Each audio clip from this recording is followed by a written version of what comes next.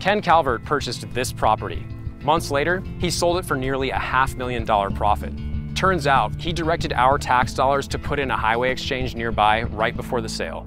I've prosecuted corruption and we shouldn't tolerate it in Congress.